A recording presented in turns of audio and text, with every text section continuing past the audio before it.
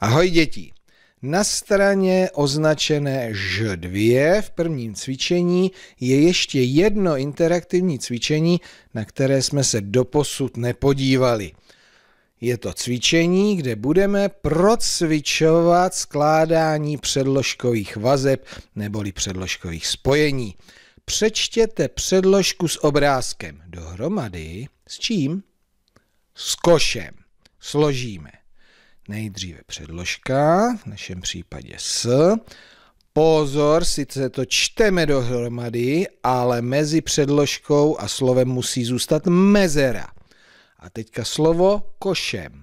Košem. A písmena?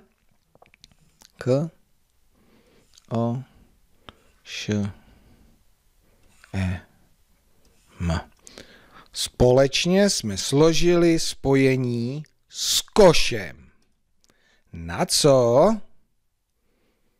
Na seno. Předložka je teďka delší, je to slabika. Na, necháme mezeru a seno, seno, písmena.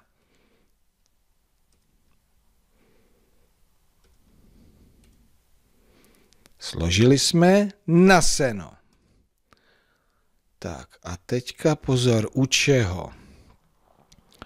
U stromů, no tak to je moc těžké a tady jsou jenom po čtyři políčka na slovo a to teda ne.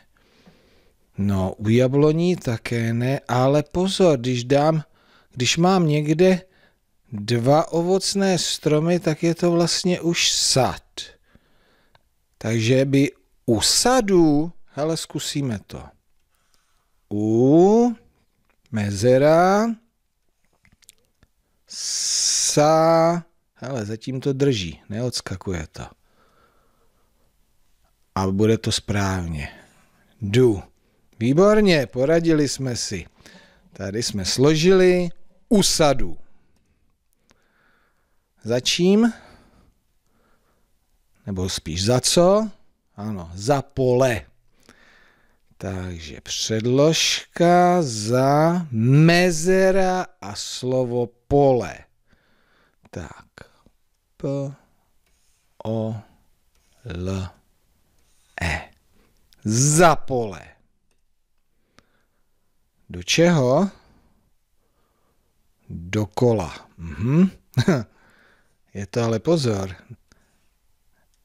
A je to předložka se slovem, ne dokola, jako že se zatočíte. Dáte dokola, třeba dokola se vám něco zapletlo. No, na co? Na. A tahle to je na palec. Dobře, zkusíme. Teďka P, kde pak ho mám? Tady palec. Ano, složili jsme na palec. Ještě. No, co to tady je? S čím? S peckou? Že by? Dobře. S mezera a teďka ano. Pec kou a dvojkytička ou. Mhm, šikovný. Do čeho si se dá řidič? Do válce. Mhm. Předložka, mezera,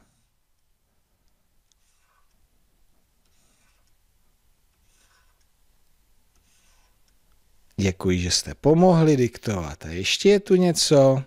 Je, tak počkat. Co je to za zeleninu? Celer. Takže u čeho? U celeru. Mhm.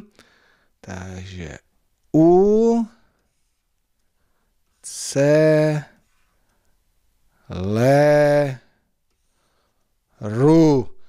Přečteme to pěkně dohromady.